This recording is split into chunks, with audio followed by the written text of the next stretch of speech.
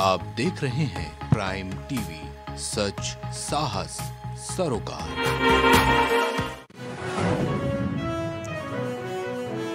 देश भर में रोज़गार मेले का आयोजन, इकहत्तर हज़ार युवाओं को सरकारी नौकरी।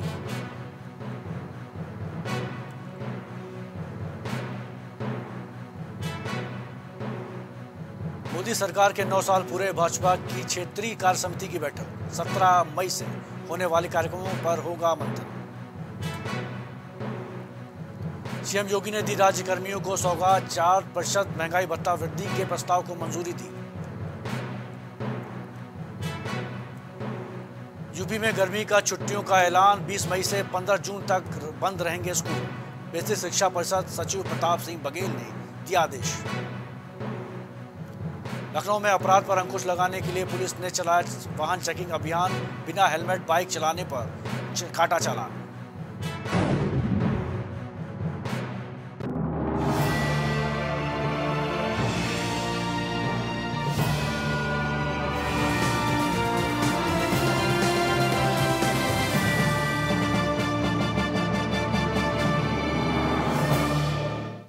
नमस्कार, आप देख रहे हैं प्राइम टीवी मैं हूँ मनीष भदौरिया। शुरुआत करते हैं उत्तर प्रदेश की खबरों से। युवाओं को सरकारी नौकरी देने के अभियान के तहत मंगलवार को पांचवा प्रधानमंत्री रोज़गार मेला आयोजित किया गया। देश भर में 45 शहरों में कार्यक्रम आयोजित किए गए हैं, जहाँ वर्चुअली माध्यम से प्रधानमंत्री नरेंद्र मोदी ने इकहत्तर हज़ार युवाओं को नियुक्ति पत्र वितरण किए। इस दौरान कार्यक्रम को संबोधित करते हुए पीएम मोदी ने कहा कि हमारा लक्ष्य है कि युवाओं को रोज़गार देना। इसके अलावा आज नौकरी में भ्रष्टाचार खत्म हुआ है और सरकारी नौकरी की प्रक्रिया अब आसान हुई है। बड़े पैमाने पर रोज़गार पैदा कर रहे हैं। देश में आ रहा विदेशी निवेश हो या फिर भारत से रिकॉर्ड एक्सपोर्ट, ये देश के कोने कोने में ये राशि भारत को दुनिया का मैन्युफैक्चरिंग हब बनाने के साथ ही लाखों युवाओं को रोज़गार में भी सहायता करेगी। साथियों, भारत के युवाओं के पास अलग अलग सेक्टर्स में काम करने की स्किल रहनी बहुत ज़रूरी है। इसके लिए देश में उच्च शिक्षा संस्थानों, कौशल विकास संस्थानों का भी युद्ध स्तर पर निर्माण हो रहा है।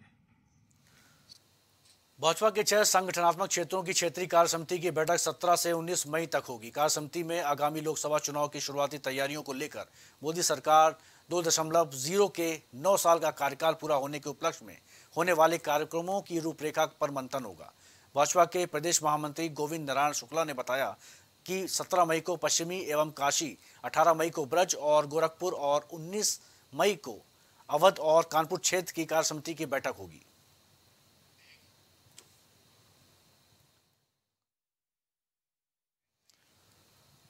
नगर निकाय चुनाव नतीजों की घोषणा के बाद एक तरफ़ बीजेपी ने जश्न का माहौल है तो वहीं दूसरी तरफ़ सपा अध्यक्ष अखिलेश यादव लगातार बीजेपी पर निकाय चुनाव में बेईमानी और धांधली का आरोप लगाते नज़र आ रहे हैं। हाल ही में उनका एक बयान सामने आया, जिसमें उन्होंने कहा कि अगर चुनाव आयोग, प्रशासन और अधिकारी सब बेईमान हो जाएँगे और बीजेपी के इशारे पर नियम, कानून और संविधान की धज्जियाँ उड़ेंगी। तो आप उम्मीद कर सकते हैं कि जनता को न्याय कैसे मिलेगा? और जो निकाय चुनाव में थे, अधिकारियों ने अगर बेईमानी न की होती, और जिस तरीके से जगह जगह से सूचनाएँ मिल रही हैं, अधिकारी खुलेआम हस्तक्षेप कर रहे थे।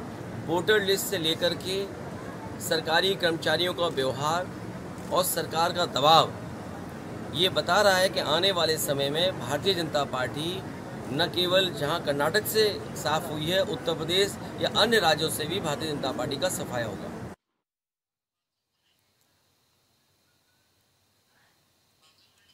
इस खबर पर हमारे संवाददाता विभांशु हमारे साथ जुड़ चुके हैं। विभांशु, अखिलेश यादव ने बीजेपी पे हमला बोला है और निकाय चुनाव में धांधली का आरोप लगाया क्या कहेंगे आप?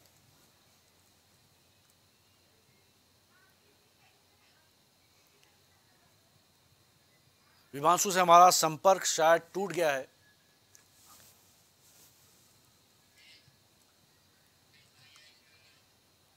जी ट्वेंटी वाराणसी में जी ट्वेंटी समिट के दूसरे चरण का आयोजन 11 से 13 जून तक होगा। इसमें दुनिया के जी ट्वेंटी बीस में शामिल देशों के विदेश मंत्री और डेलीगेट शिरकत करेंगे।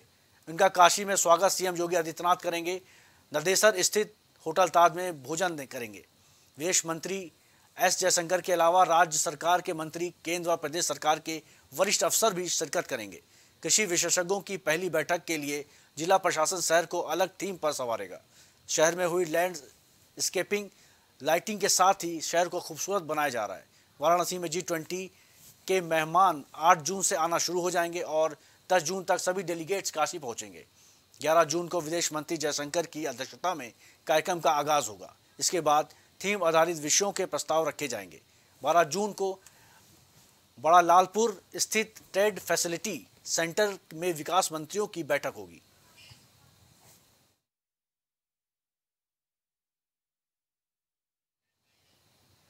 योगी सरकार के सरकारी कर्मियों का महँगाई भत्ता और पेंशनों में महँगाई राहत में चार प्रतिशत की वृद्धि किए जाने के प्रस्ताव को मंजूरी दे दी है, जहाँ सरकार एक जनवरी 2023 से चार प्रतिशत की बड़ी दर से महँगाई भत्ता और महँगाई राहत देने जा रही है। इसी वृद्धि के बाद कर्मचारियों और पेंशनरों का डीए और डीआर अड़तीस से बढ़कर बयालीस प्रतिशत हो जाएगा। मुख्यमंत्री ने डीए में वृद्धि के प्रस्ताव को मंजूरी दे दी है। डीए, डीआर में बढ़ोतरी से 16 लाख राज्य कर्मचारियों और 11.5 लाख पेंशनरों को फ़ायदा होगा। केंद्र सरकार ने 24 मार्च को अपने कर्मचारियों व पेंशनरों के डीए बयालीस प्रतिशत किया था। अब राज्य सरकार भी अपने कर्मचारियों और पेंशनरों का डीए और डीआर चार प्रतिशत बढ़ाने जा रही है।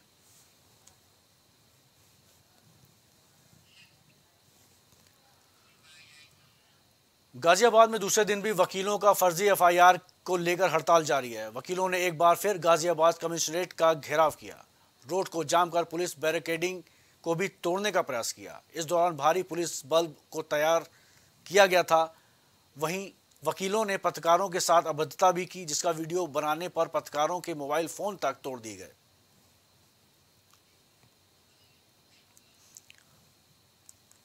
आपको बता दें कि सीपी अजय मिश्रा के खिलाफ अधिवक्ताओं का प्रदर्शन जारी है। अधिवक्ताओं की हड़ताल जारी है, जिसमें पत्रकारों के साथ अभद्रता भी की गई है, जिसमें उनके मोबाइल तक तोड़ दिए गए हैं। बैरिकेडिंग के माध्यम से वकीलों को रोकने का प्रयास किया गया, लेकिन उसके बाद भी वो वकील।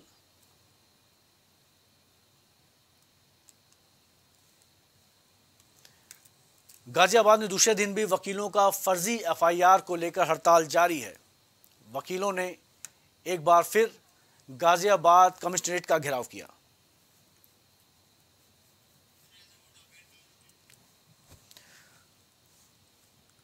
तो आपको बता दें कि रोड को जाम कर पुलिस बैरिकेडिंग को भी तोड़ने का प्रयास किया गया। अधिवक्ताओं में भारी आक्रोश है, जिसको लेकर वो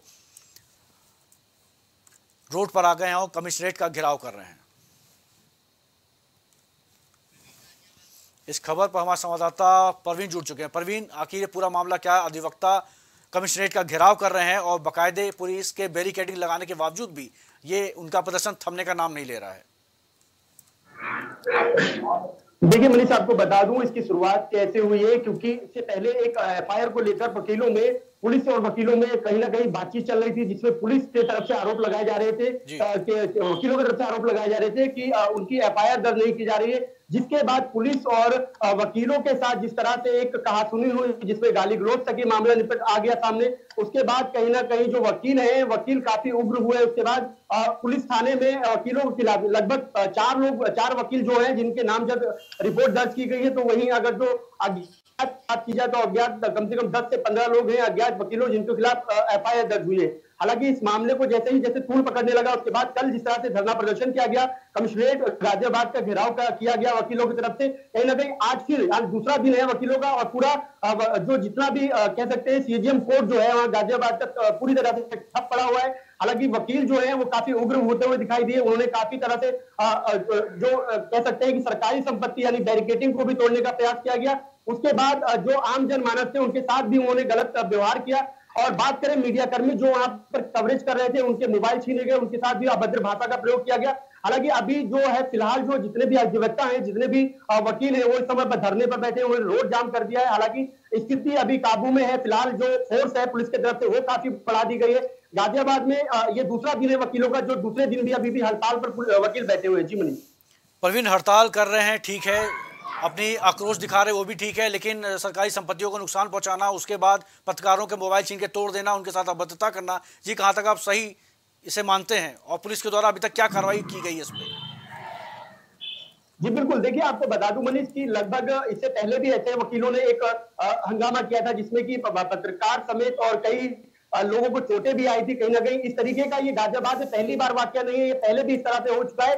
लेकिन अब पुलिस प्रशासन वहाँ पर बढ़ा दिया गया। हालाँकि मीडिया कर्मी जो है वो दूर से ही पूरा कवरेज कर रहे हैं शूट कर रहे हैं। अब जो वकील जो है जो बड़े अधिवक्ता है या, यानी कि बार एसोसिएशन ने भी इस बात की निंदा की है कि इस तरीके का मामला नहीं होना चाहिए। हालाँकि करें शांतिपूर्ण तरीके से रहती है। इस तरीके का माहौल क्रिएट ना हो जिससे कि जनता को दिक्कत हो आम जनमानस को दिक्कत हो और पत्रकारों के साथ जो अभद्रता की गई है उनके साथ गाली गलोच की गई उनके मोबाइल भी छीने गए। तो ये कहीं ना कहीं ठीक नहीं है। जिसको लेकर कमिश्नरेट जो गाजियाबाद है वो कहीं ना कहीं अब थोड़े देर में एक्शन में आएँगे और हो सकता है कि आखिर वो आगे क्या फैसला करते क्योंकि वकील हमेशा से वकीलों का पल्ला भारी रहा है। वकील जब जब धरने प्रदर्शन पर बैठे जब जब उन्होंने हंगामा किया तो कहीं ना कहीं पुलिस को नतमस्तक होना पड़ा है। पुलिस हमेशा से झुकी आ रही है। तो कहीं ना कहीं इस बात भी देखने को मिलेगा कि पुलिस क्या रिएक्शन करती है पुलिस की तरफ़ से क्या कुछ कहने को मिलता है। जी। प्रवीण इस खबर पर जानकारी देने के लिए आपका बहुत बहुत धन्यवाद।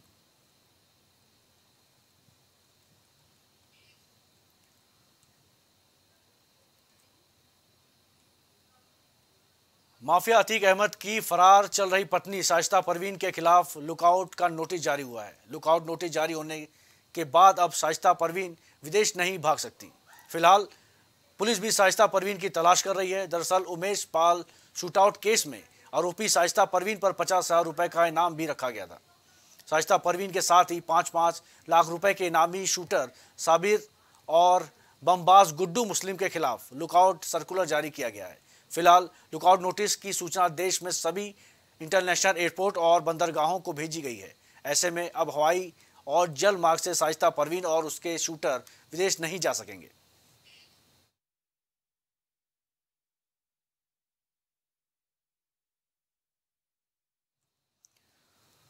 बुलंदशहर में महिला पहलवानों के समर्थन में भाकियू कार्यकर्ताओं ने मशाल जुलूस निकाला है। हाथ में तिरंगा और मशाल लेकर जुलूस में दर्जनों कार्यकर्ता शामिल हुए। और नारेबाजी की है। साथ ही इस दौरान आरोपी ब्रजभूषण शरण सिंह की गिरफ्तारी की मांग भी की। बता दें कि संगठन के पश्चिम यू, यूपी युवा अध्यक्ष के नेतृत्व में जुलूस निकाला गया। खुर्जा के गाँव मदनपुर से जंक्शन तक ये मशाल जुलूस निकाला गया।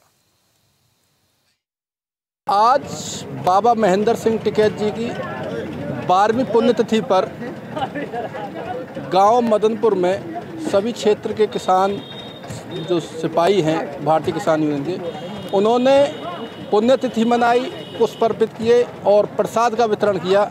उसके बाद ये मसाल जुलूस जो दिल्ली में धरने पर किसानों की जो बेटियाँ बैठी हुई हैं, जो देश के पहलवान बैठे हुए हैं और ब्रजभूषण सिंह की पास्को एक्ट में भी गिरफ्तारी नहीं हो पा रही है, इसके बावजूद उसके विरोध में आज भारतीय किसान यूनियन टिकैत मसाल जुलूस के साथ पूरे जंक्शन शहर के अंदर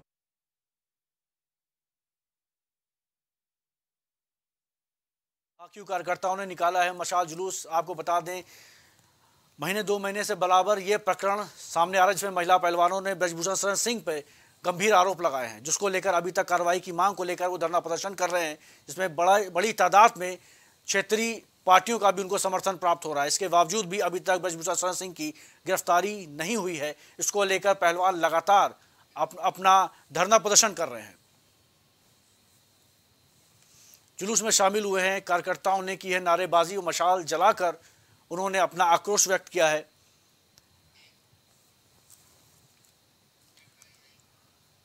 गोंडा में सपा के पूर्व चेयरमैन समीम अच्छन ने निकाय चुनाव को लेकर बीजेपी विधायक पर गंभीर आरोप लगाए हैं।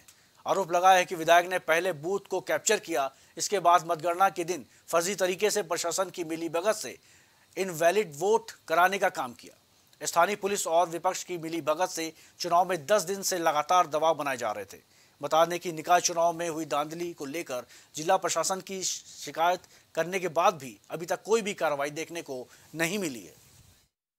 चुनाव नगर पालिका परिषद का जिस दिन विधानसभा का चुनाव संपन्न हुआ था। उसी दिन से एक लंबी साजिश के तहत इस नगर पालिका परिषद को छीन लेने के लिए एक कार्यक्रम चलाया गया।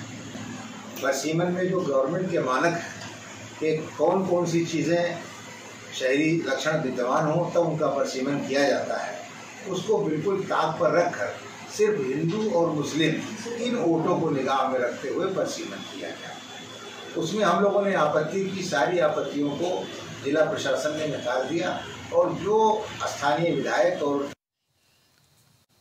लखनऊ में पुलिस कमिश्नरेट और डीसीपी के निर्देशों के तहत चेकिंग अभियान चलाया जा रहा है। लगातार हो रही आपराधिक घटनाओं पर लगाम लगाने के लिए ये अभियान चलाया जा रहा है। लगभग सभी थाना क्षेत्रों में हर एक घंटे में पॉइंट बदलकर चेकिंग की जा रही है। प्रभारी निरीक्षक शहादतगंज के नेतृत्व में भारी पुलिस बल के साथ चेकिंग चल रही है।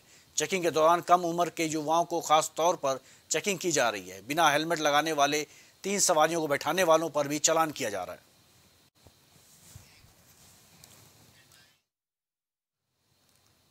औरैया नगर निकाय चुनाव में नगर पालिका परिषद अध्यक्ष पद का चुनाव। लड़ने वाले प्रत्याशी राजकुमार दुबे ने परिणाम आने के बाद जनता के फैसले का स्वागत किया है।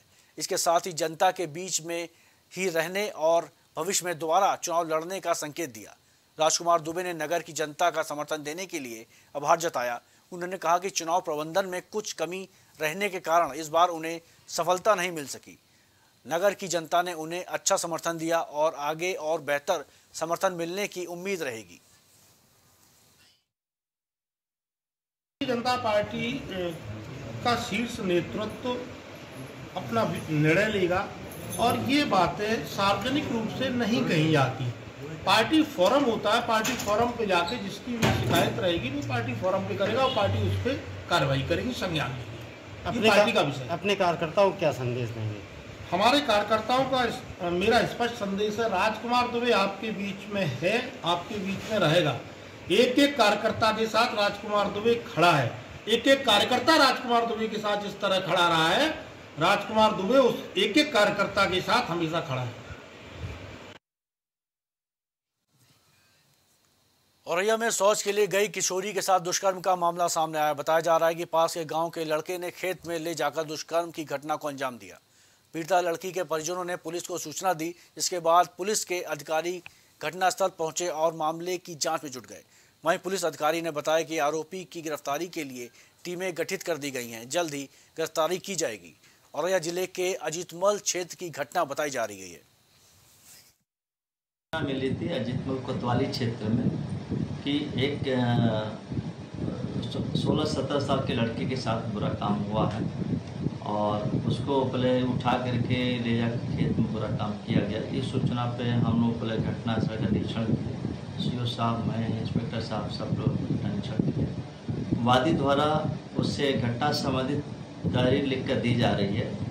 मुलजिम की गिरफ्तारी की टीम गठित की गई है। यथाशीघ्र मुलजिम का, मुलजिम को गिरफ़्तार कर लिया जाएगा। साथ ही साथ पीड़िता को मेडिकल के लिए भी नियमानुसार उसको कार्रवाई के लिए भेजा जा रहा है। खबर बुलंदशहर से जहाँ वृद्ध महिला की लुटेरों ने लूट के बाद हत्या कर दी है। बताया जा रहा है कि बयासी साल की वृद्ध महिला अपने घर में सो रही थी। रात को लुटेरों ने घर में घुसकर लूट के बाद हत्या को अंजाम दिया। लुटेरों कान में कुंडल, पैरों की पाजेब और मोबाइल लूट ले गए। मृतक के बेटे ने पुलिस को घटना की सूचना दी, जिसके बाद पुलिस ने मौके पर पहुंचकर जाँच शुरू कर दी। फ़िलहाल पुलिस एक संदिग्ध व्यक्ति को हिरासत में ले लिया है और उससे पूछताछ की जा रही है। बताया कि ऐसे ऐसे बुकलाने में मर्डर हो गया है। तो मैं सुबह आया सात बजे के आसपास। यहाँ पे इन चार साल पहले से मौजूद है। और मैंने आके देखा तो इनका नाम ओमबती है। इनकी उम्र अस्सी साल है। इनके इनके जो पति थे वो पिछले डेढ़ दो साल पहले ख़त्म हो गए। वो एक टीचर थे और इनके दो बेटे हैं। एक बेटा गाँव में गाँव में है एडवोकेट हैं वो गढ़ में। और इनके जो छोटे वाले बेटे वो गाजियाबाद कंस्ट्रक्शन में नौकरी करते हैं। और ये माता जी अपने घर में जैसा डेली सोती थी क्या लगता है प्रधान जी? किस तरह ये हत्या, हत्या की गई है। इनके पास से इनके जो पैरों की पाजेब है। लोगों ने मारा है। अभी तक क्योंकि रात में हत्या हुई है तो उस टाइम अब यहाँ थे नहीं हम तो तो ये तो नहीं कहा जा सकता कि कौन लोग थे।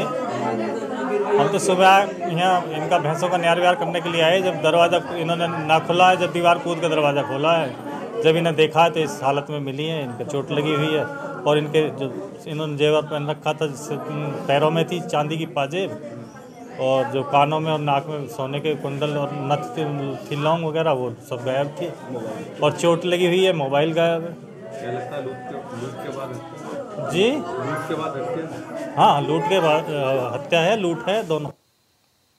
फैजाबाद की जवाहर कॉलोनी के सामने खुलेआम शराब पीने का मामला सामने आया है। पुलिस गश्त के बावजूद भी शराब पीने के शौकीन सड़क पर शराब पीते नज़र आ रहे हैं। जिस कारण शाम होते ही महिलाओं का यहाँ आने निकलना तक मुश्किल हो गया है। वहीं लगातार पुलिस प्रशासन के आदेश की जमकर धज्जियाँ उड़ाई जा रही हैं। इस खबर पर हमारे सादा संवाददाता फरीदाबाद से मनोज जुड़ चुके हैं। मनोज, दुकान के बाहर खुलेआम पिलाई जा रही शराब और शराब पीने वाले दुकान के बाहर ही रोड पर ही शराब पीते नज़र आ रहे हैं, जिसके बाद वहाँ आने जाने वाली महिलाओं को काफ़ी समस्याओं का सामना करना पड़ रहा है। अभी तक इस पर कार्रवाई क्यों नहीं हुई और क्या जानकारी इसको लेकर? मनीष जी बता दें, देर शाम सेक्टर बामनी के समीप जवाहर कॉलोनी के अंदर ये ठेका लगता है और इनसे लगती हुई जितनी भी दुकान है, उन दुकानों के अंदर सरेआम शराब पिलाई जाती है, जबकि पुलिस भी गश्त करती है और जैसे ही पुलिस की गाड़ी दिखती है, तब वो दबक जाते हैं और पुलिस जाते ही फिर सड़कों पर बैठ कर खुले में शराब पीने पीने लगते हैं, जिसको लेकर आम लोग जो महिलाएँ वहाँ से निकलती हैं, उनका जो निकलना है वो मुश्किल हो जाता है। कही जाए तो पुलिस प्रशासन की तरफ़ से शराब जो खुले में पीते हैं और जो हाथे हैं, इन पर पूरी तरह से पाबंदी लगाई हुई है। उसके बाद भी जिस तरह से ये छोटी छोटी दुकानों में हाथा बना लेते हैं और शराब की जो लोग लोग पीते हैं, वो कहीं ना कहीं गैर कानूनी है। इन पर पुलिस को नज़र रखनी चाहिए। पर आखिर पुलिस प्रशासन इस तरह की वीडियो वायरल होने के बाद भी कोई कार्रवाई नहीं करता। जी। मनोज, उस क्षेत्र की पुलिस ने अभी तक इसकी, इस पर कोई कार्रवाई क्यों नहीं करी? जबकि ये मामला पूरा संज्ञान में रहा होगा। पुलिस की बात की जाए तो पुलिस गश्त लगाती है और वहाँ के जो फ़ेमस जो दारू वाले हैं, जो इस तरह से दारू बेच रहे हैं, क्योंकि तो ठेके से बाहर अलग जो लोग अपने घर लेके लेके पी सकते हैं पर जो लोग हैं वो ठेके से खरीद कर बराबर में ही खुले में पीते हैं और जो महिला वहाँ से निकलते हैं, उन पर भी छीटाछी करते हैं, कहीं ना कहीं पुलिस प्रशासन की जो आदेश है, उनके, उनकी जो अ- अवहेलना है, वो जमकर वहाँ पर की जा रही है। मनोज क्या आपने संबंधित थाना प्रभारी से संबंध में बातचीत करी कोई?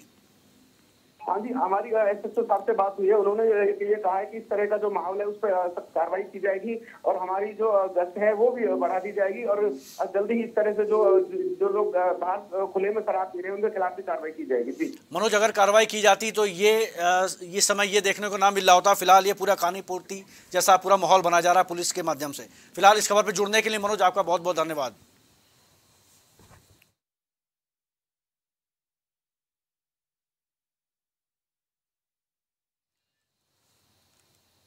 लखनऊ के नाका थाना क्षेत्र के अंतर्गत देसी ठेका के पास ठेकेदार ने युवक को लाठी डंडों से बेरहमी से पीटा है। बीच रोड पर डंडे से मारने का वीडियो भी सोशल मीडिया पर तेज़ी से वायरल हुआ। वहीं इसी बीच रोड पर लाठी डंडों से मार, पीट से साफ़ ज़ाहिर होता है कि दबंगों को पुलिस का कोई खौफ नहीं रहा। फ़िलहाल पुलिस इन पर कार्रवाई करती है या नहीं करती है, शहर में दबंगों का आतंक बरकरार रहता है या नहीं रहता है, ये देखने वाली बात होगी। इस खबर पर संवाददाता मोहम्मद उबैद हमारे साथ जुड़ चुके हैं। मोहम्मद, ठेकेदार ने युवक की बेरहमी से पिटाई करी है और बाकायदे ये सोशल मीडिया पे ये वीडियो भी वायरल हुआ है। अब तक क्या कार्रवाई की गई है?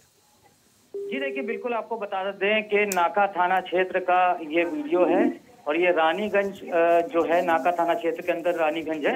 उसका वीडियो है, रात में जो है ठेकेदार जो है उसने मारा है युवक को बेरहमी से बीच रोड पर। उसके बाद कार्रवाई की अगर हम मनीष जी बात करें तो कार्रवाई जैसी पुलिस को पता चलता है ये वीडियो वायरल होता है और ये जो पुलिस ने कार्रवाई की है तुरंत तत्काल दोनों को पकड़ा है और फ़िलहाल दोनों को पकड़कर जेल भेज दिया है। जी मनीष।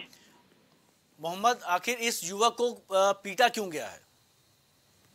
जी देखिए आपको बता दें कि ये शराब का जो ठेका है उसी को लेकर यहाँ पे आपस में विवाद हुआ था इन लोगों में। कहा सुनी हुई थी। और जिसके बाद ये चीज़ जो है सामने नहीं पूरी तरीके से आ पाई है कि क्या असल में मामला था, लेकिन मामला जो जाँच पड़ताल के बाद जो पता चला है वो ये है कि शराब का जो ठेका था उसको लेकर यहाँ पे इन लोगों में आपसी कहा सुनी हुई थी। उसके बाद जो है इन लोगों ने इसको मारा, बीच रोड पे मारा है। तो उसके बाद पुलिस सतर्क हुई पुलिस ने इसको पकड़ा और पकड़कर कार्रवाई भी कर ली है। जी। अवैश, इस खबर पर जुड़ने के लिए धन्यवाद आपका।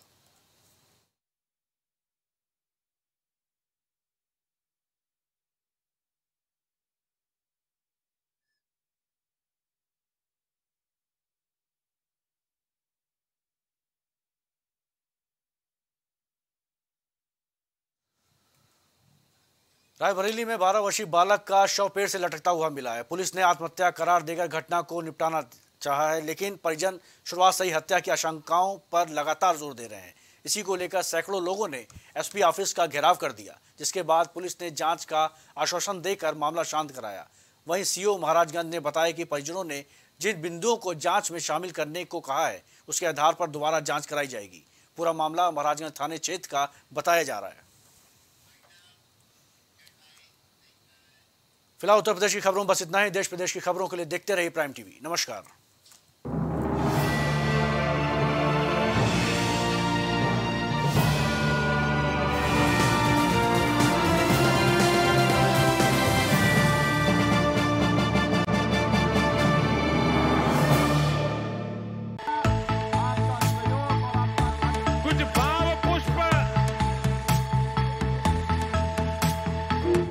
देख रहे हैं प्राइम टीवी सच साहस सरोकार